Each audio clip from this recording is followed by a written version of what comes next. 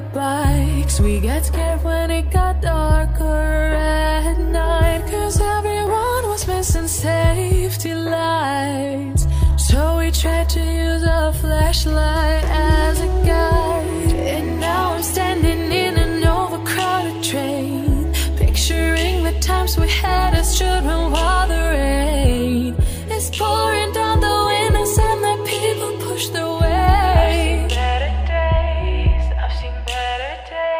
Take me